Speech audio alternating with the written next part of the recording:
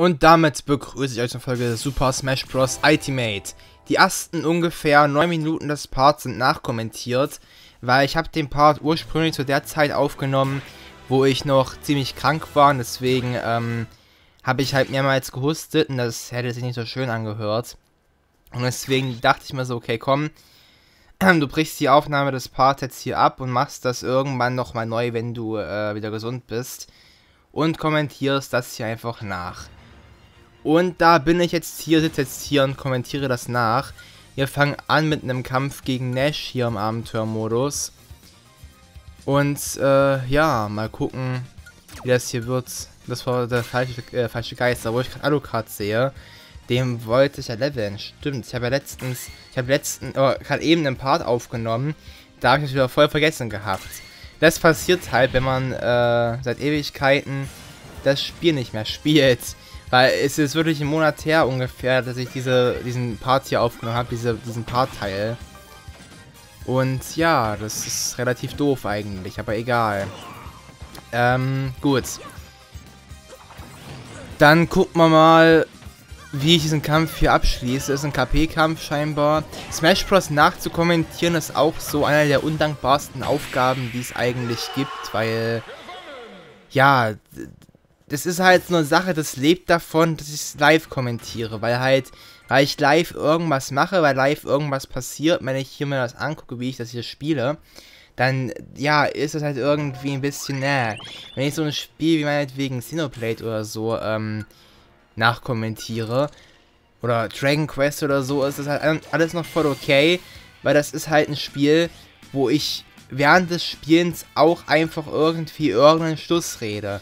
Und hier konzentriere ich mich eben voll aufs Gameplay und rede deswegen übers Gameplay.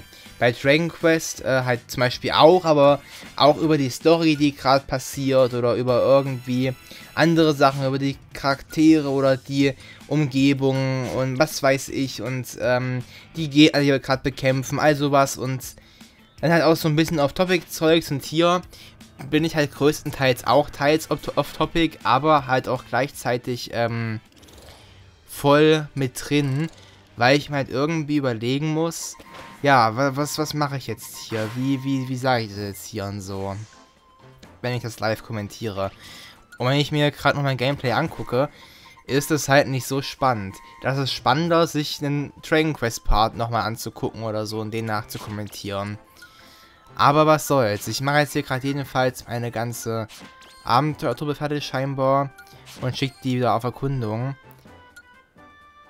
Das sind halt auch die spannenden Sachen, die man sehen möchte. Normalerweise könnte ich das auch rausschneiden, aber das macht sich jetzt doof mit dem Nachkommentieren.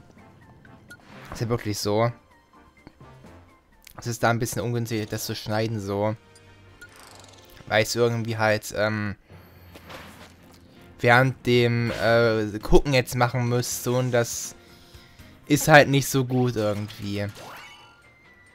Deswegen müsst ihr jetzt damit leben, wie ich hier meine Geister einstelle. Ist ja jetzt auch nicht die schlimmste Qual ever oder so. Es geht ja auch schnell, meine ich halt. Aber trotzdem muss man das nicht unbedingt sehen, finde ich. Weil wir haben es oft genug gesehen, ich habe es auch oft genug rausgeschnitten. Immer mal wieder kann ich es drin lassen, aber Egal. Ich will da jetzt mehr drauf rumreiten. Wir machen das einfach jetzt so. Ich lasse es drinne. Und dann kümmern wir uns gleich wieder um spannendere Kämpfe. Und kommen hoffentlich weiter. Wir können ja gerne mal in die Kommentare schätzen, wie lange ich für den Story-Modus oder den Abenteuer-Modus noch brauche. Das ist ja kein Story-Modus. Und auch, wie lange ich allgemein noch für das LP brauche. Ich weiß selbst nicht, was ich alles noch zeigen möchte. Also auf jeden Fall wollte ich noch im Singleplayer das Turnier zeigen und noch irgendeinen Modus. Und dann wollte ich noch ein paar Online-Parts machen, vielleicht zwei oder drei Online-Parts.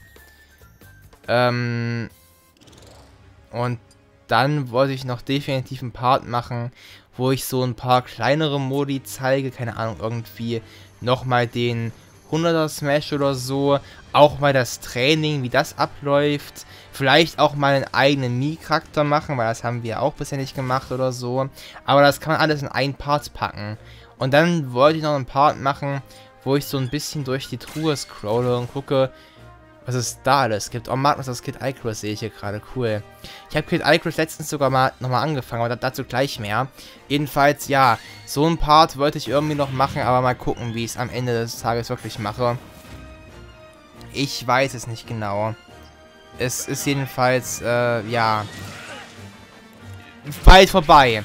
Aber ich habe es auch in einem nächsten Parts noch mal gesagt, wenn dann die DLC-Charaktere kommen, gibt es natürlich noch Parts dazu. Aber dazu sage ich im nächsten Part oder im übernächsten Part oder so noch ein bisschen mehr. Oder vielleicht sogar, glaube ich, auch in dem hier. Ich bin mir gerade nicht ganz sicher, entweder in dem oder im nächsten Part. Vor allem hat sich Ike gerade selbst umgebracht. Aber ja, Kid, Kid Icarus Uprising habe ich damals, als das Spiel rauskam, durchgespielt für ein 3DS. Ich fand es auch ziemlich cool. Und jetzt vor kurzem dachte ich mir so, komm, du bist krank und du hast Bock, ein bisschen 3DS zu spielen. Fang das Spiel doch nochmal an. Und ich muss sagen, ich finde es auch immer noch cool. Aber ich finde die Steuerung so seltsam. Die ist komplett komisch. Ich weiß nicht, was sich ähm, die Entwickler da gedacht haben. Das Spiel ist doch, glaube ich, sogar auch von Sakurai, oder? Moment, das will ich mal ganz kurz googeln. Äh, jedenfalls, ich frage mich, was sich die Entwickler dabei gedacht haben.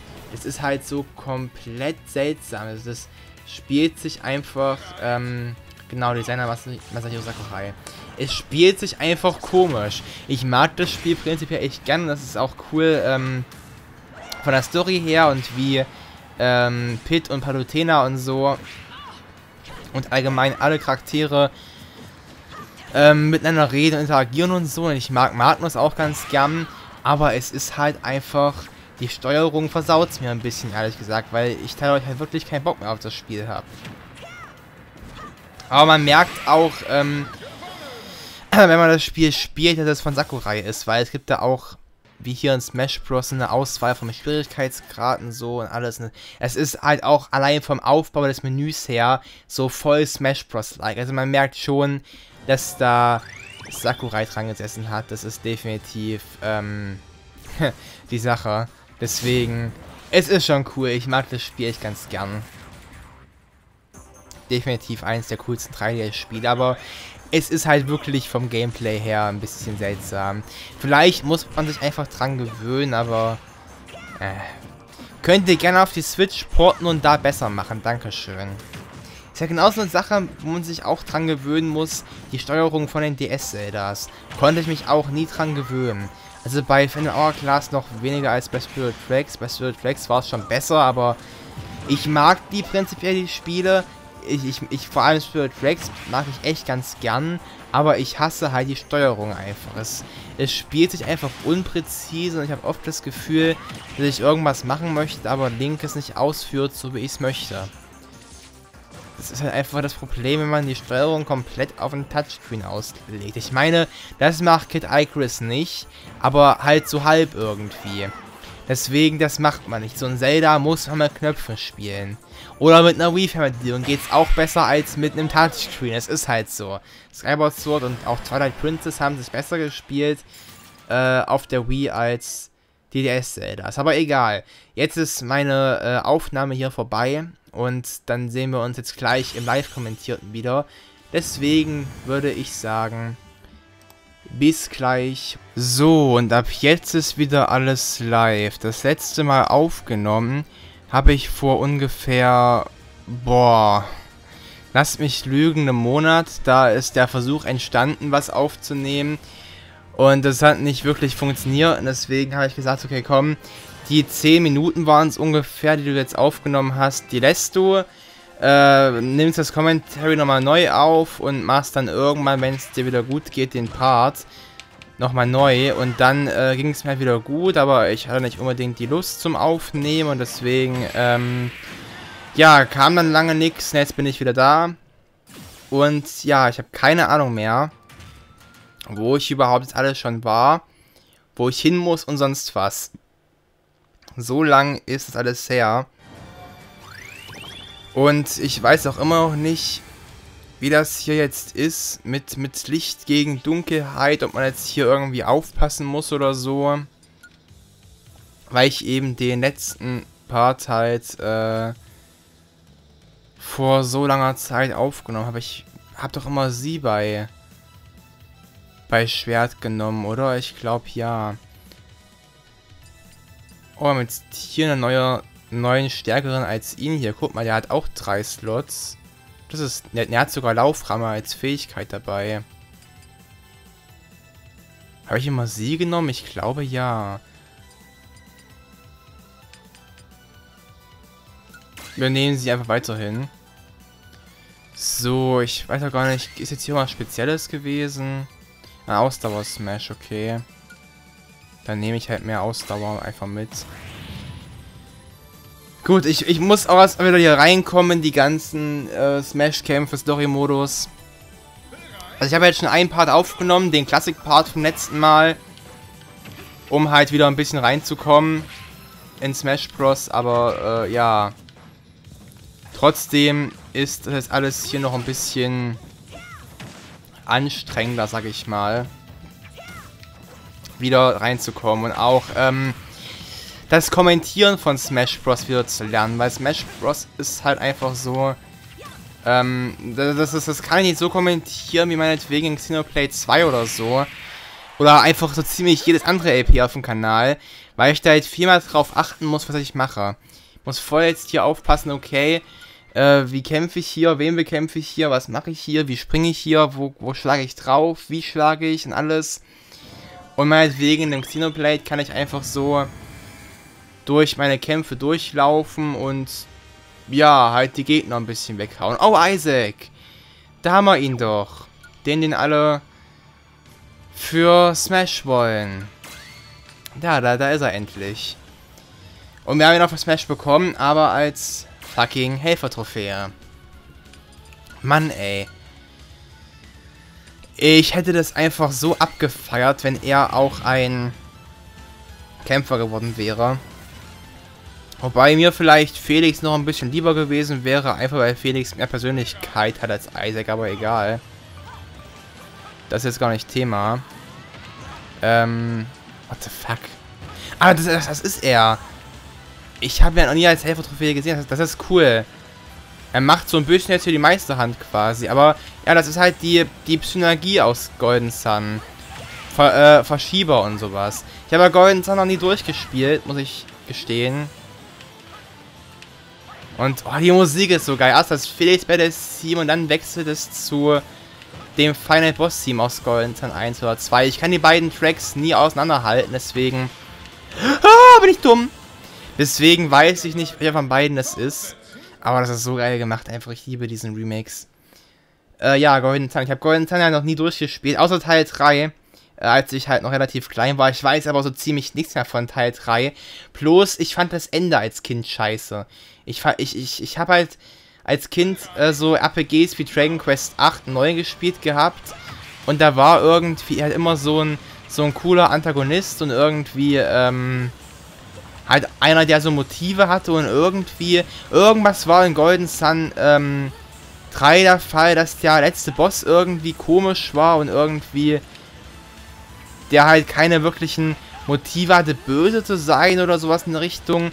Und das fand ich schon als Kind irgendwie dumm. Oder, oder irgendwas war, dass der Boss gar nicht richtig böse war. Äh, irgendwas war da und das fand ich als Kind irgendwie komisch. Und deswegen hat mich das an Golden Sun 3 genervt. Aber ansonsten habe ich das Spiel als Kind geliebt, weil es eben genauso cool war wie halt auch so ein Dragon Quest 9. Ich konnte es mitnehmen, auf dem DS spielen unterwegs. Und das hat mich als Kind einfach voll fasziniert quasi mit. Weil ich halt einfach, ich kannte Dragon Quest 8 und kannte es halt, als man solche Spiele zu Hause spielen konnte, so RPGs. Und dann kommt plötzlich Dragon Quest 9 und du kannst das Spiel äh, mitnehmen. Und dann bekomme ich noch so ein Spiel mit Golden Sun 3, was man auch so mitnehmen kann.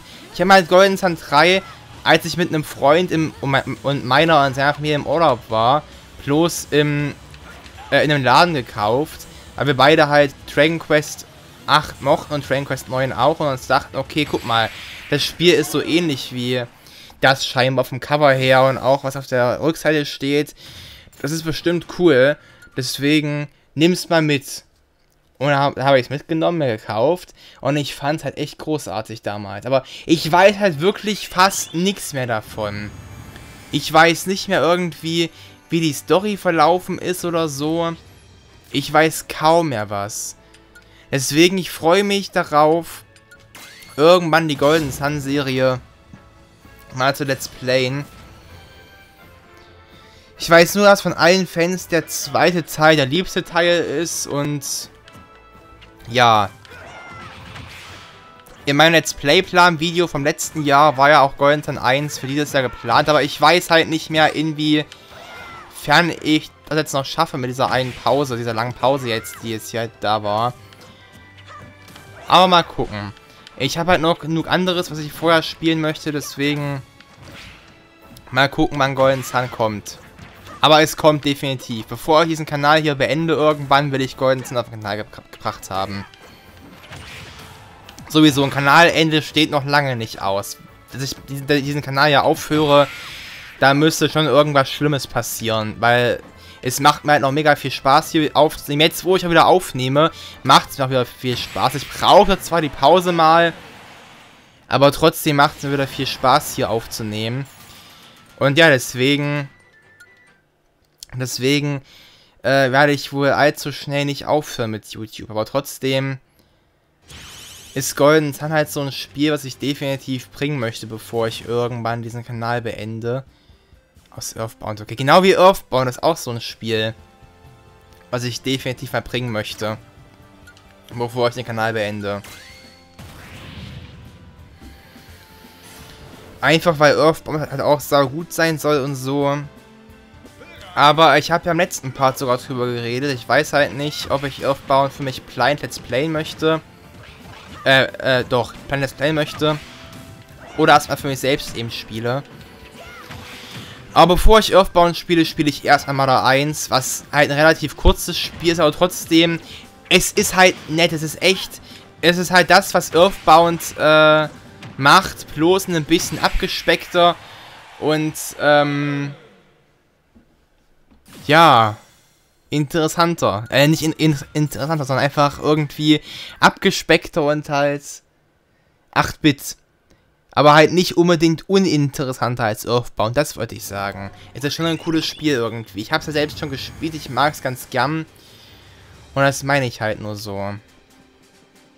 Es ist schon ein nettes Spiel. Und hier haben wir die junge Samus. Interessant, wahrscheinlich. Ich würde jetzt spontan auf Other M tippen, aber ich weiß es nicht. Eigentlich kann ich ja ihn lassen. Ich würde spontan auf ARM tippen, dass sie da rauskommt, aber ich weiß es nicht. Ach, muss ich auch alles mal spielen. Es gibt noch so viel, was ich spielen möchte. Bei, bei, bei ARM streiten sich ja auch die Geister. Ich habe halt viele Stimmen gehört, die ARM scheiße finden, weil es halt nicht das klassische Metroid ist. Aber halt auch viele, die es richtig gut finden, weil es eben nochmal viel mehr Story gibt als äh, die anderen Spiele. Man erfährt halt was. Ich glaube, man erfährt sogar was zu jungen Samus und alles. Also, aber M ist halt schon, ich würde schon sagen, es ist relativ interessant irgendwie. Auch so von dem, was ich bisher gesehen habe, sieht es ganz nett aus irgendwie. Aber ich muss es selbst spielen, um mir ein richtiges Bild zu machen zu können. Wie eigentlich auch jedes Spiel immer selbst spielen, bevor man irgendwie drüber urteilt oder so. Keine Ahnung. Chibi Robo ist ja auch eine relativ interessante Serie irgendwie. Ähm, die von vielen... Ja, ich weiß nicht. Ähm, nicht unbedingt ernst genommen wird, sag ich mal. Ist ja auch sowas ähnliches wie ein Jump'n'Run, glaube ich. Es gab mal irgendwie einen 3DS-Teil, der halt so ein 2D-Jump'n'Run war. Und das war ganz interessant. Es, es gab auch schon viele andere Spiele. Ich glaube auch für ein Gamecube und so. Also ist schon eine Serie mit Geschichte. Aber habe ich, halt, hab ich halt selbst nie gespielt oder so. Aber ist halt schon ganz spannend.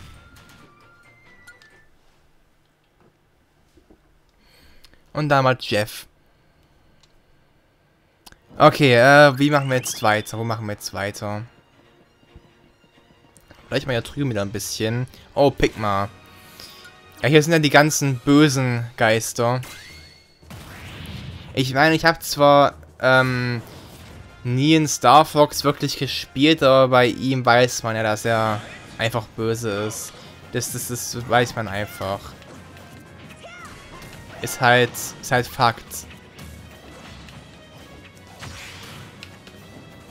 Wobei ich, ich, ich habe ähm, Star Fox 1 gespielt gehabt, so ein bisschen. Auf dem äh, SNES Mini. Ah ja, aber mehr auch nicht. Die Musik ist cool. Es gibt ja immer wieder Leute, die sagen, dass Star Fox Adventures so gut sein soll, weil es halt so ähnlich wie Zelda ist. Also halt kein klassisches Star Fox. Und ich glaube, der Lieblingsteil von den meisten Leuten ist halt der N64-Teil, den es auf ein 3DS gibt, glaube ich. Aber es gab ja auch Star Fox Zero, äh, das hieß auch Zero, oder? Für die Wii U, was ja ein relativ großer Reinfall war, weil man eben so, zum Gamepad gezwungen war und das hat halt äh, vielen, Naked Snake, okay, hat halt vielen sauer aufgestoßen, weil das ein bisschen genervt hat. Ich habe es nur ähm, ein Video dazu gesehen gehabt und das sah halt auch ein bisschen anstrengend aus. Äh, weil in dem Video konnte man halt nicht sehen, was auf dem Gamepad passiert. Aber wenn das Spiel eben ständig wechselt zwischen Gamepad und, ähm... Und, wow. Warum sind hier so viele Snakes? Wenn das Spiel halt ständig wechselt zwischen Gamepad und, ähm... Fernsehbildschirm, stelle ich mir das schon nervig vor. Weil es halt wirklich irgendwie den Spielfluss so ein bisschen stört. Aber was soll's.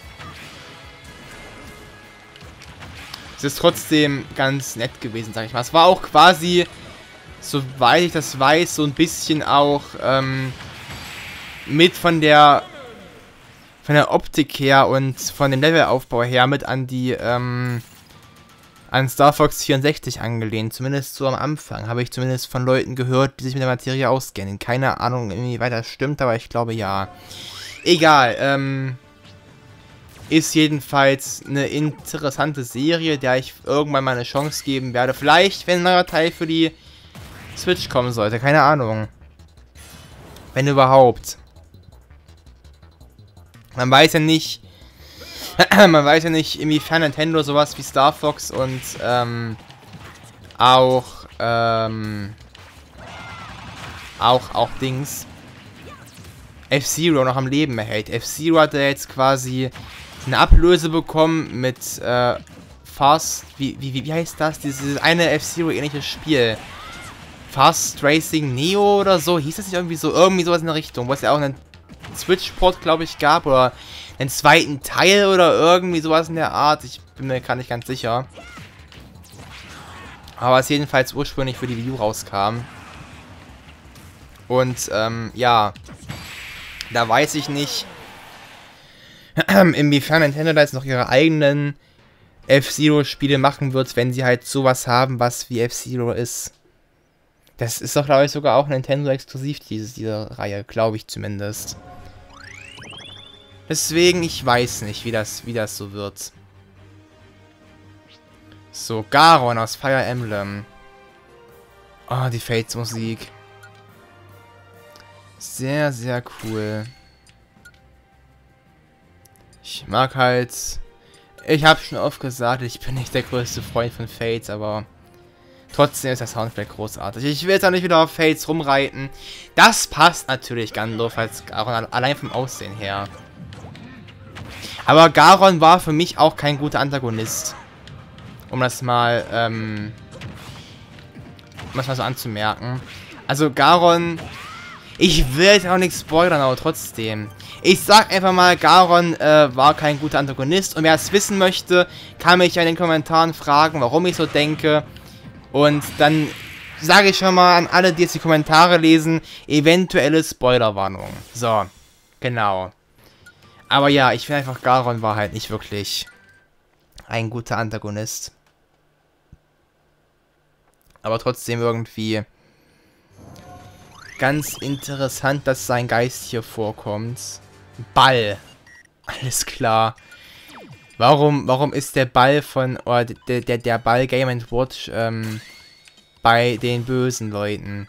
Ist der so schwer gewesen, dass alle ihn gehasst haben oder was? Ich habe keine Ahnung. Game Watch ist ja eh so eine spannende Sache. Also ich finde das wirklich, was es da alles für Variationen gibt und so. Ich finde auch die Musik total cool von Game Watch. Aber ja, das ist halt wirklich irgendwie interessant. Und hier, das sollen jetzt die Bälle sein, oder was? Hier haben wir Mr. Game Watch, der ist mit denen jongliert. Und Kirby, Pummeluff und Pac-Man sind scheinbar seine Bälle oder so, keine Ahnung. Weil das ist ja das Beispiel, da jongliert er ja irgendwie. Ich habe halt auch nie irgendwas von Game Watch gespielt, muss ich sagen. Irgendwie eine Schande, aber irgendwie ja. halt auch nicht. Das ist schon ganz interessant irgendwie. Phosphora, wo kommst du denn her? Keine Ahnung. So, da oben sehen wir schon Dars Tentakel oder was auch immer das ist. Madama Butterfly aus Bayonetta wahrscheinlich. Interessant. Was auch immer mit ihr los ist. Und wer auch immer das vor allem ist. Will ich ja eigentlich auch dieses Jahr noch spielen, Bayonetta. Betonung nicht auf eigentlich. Ich weiß halt nicht, wie ich es noch schaffe. Ich hoffe, ich schaff's noch. Aber ist eigentlich auf meiner Definitivliste für dieses Jahr noch Bayonetta 1 zumindest. Mal gucken. Ich werde wahrscheinlich die Switch-Version spielen. Und ich freue mich da auch schon drauf, weil ich ja von Bayonetta echt richtig viel Gutes gehört habe. Vor allem von Teil 1. Teil 2 soll scheinbar, also ich habe es zumindest so gehört, actionlastiger sein und so und viel mehr noch auf ähm, krasse Inszenierung legen, aber insgesamt nicht mehr so gut wie ähm, Teil 1, habe ich zumindest gehört. Was passiert hier gerade? What the fuck? Nein! Oh, ja, ich konnte nicht mehr weg. Äh, Bayonetta, du bist böse, weißt du das? Ich lasse mich darauf Bayonetta ein, ohne irgendwie diese Vorteile von anderen Leuten gehört zu haben. Ich blende die aus meinem Kopf aus und will es halt selbst für mich spielen und selbst rausfinden, welcher Teil mir besser gefällt.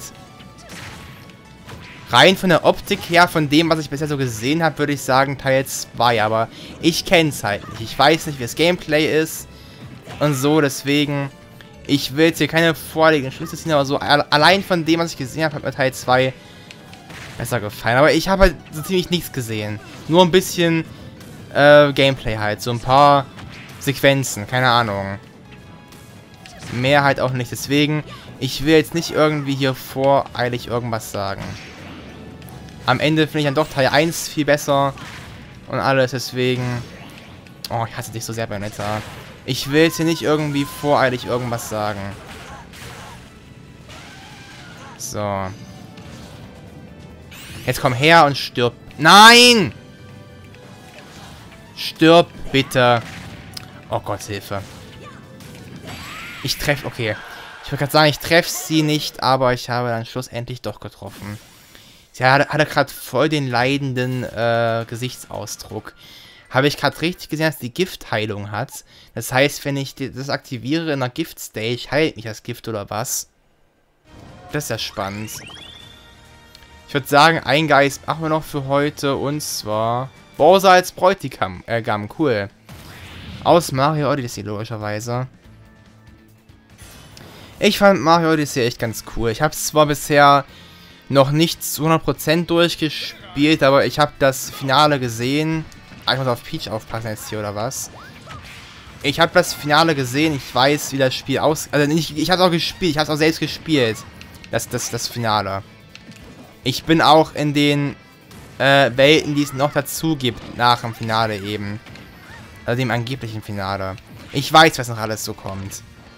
Aber ich habe es eben nicht mehr weitergespielt, weil ich weiß auch nicht, irgendwie... Und tschüss. Irgendwie ist es mir halt zu viel Inhalt einfach. Also es, es gibt mir zu viele Monde. Die haben es einfach komplett übertrieben, finde ich. Deswegen hatte ich irgendwann keine wirkliche Lust mehr. Ich werde es noch irgendwann durchspielen. Ich mag es echt gerne. Aber irgendwie ist es halt auch so ein bisschen... Ja, zu viel. Too much, wie auch immer. So. Jetzt machen wir noch einen Geist auf der guten Seite und dann beende ich den Part wirklich. Was ist eigentlich hier los? Ach, Wissensbaum nur. Jetzt mache ich noch einen Geist auf der guten Seite und dann beende ich den Part wirklich. Okay, man kann ja nicht sehen, welche Geister man schon besiegt hat. Das hat mich jetzt mal interessiert, weil wir haben es halt sehr, ja, kreuz und quer gemacht. Ich habe keine richtigen Routen genommen, deswegen wird das hier spannend, nochmal alles abzulaufen, ob ich noch irgendwo Geister vergessen habe. In einer nächsten Parts dann, aber das, das wird alles noch. Da haben wir noch Zeit für. Ich bin gespannt, wie viele Parts ich für den Modus noch brauchen werde. Aber ja, wenn wir den Modus dann durch haben, ist das LP fast vorbei. Dann will ich noch einen Part machen, wo ich den Turniermodus zeige. Und noch einen Part, wo ich... was Irgendwas will ich noch zeigen, aus den Singleplayer-Sachen in einen einzelnen Part. Und dann halt noch ein Part, wo ich noch so ein bisschen andere Modi zeige und so. Mal gucken, was es alles noch gibt. Also es ist nicht mehr so lang. Und noch ein Part, wo ich so in die Truhe reinschaue, was wir alles freigespielt haben an, an, an Sachen und so. Deswegen, es kommt noch einiges. Aber das war's für heute erstmal. Ich hoffe, ihr schaltet das nächste Mal wieder ein. Bis dann, ciao. Euer Vero, tschüss.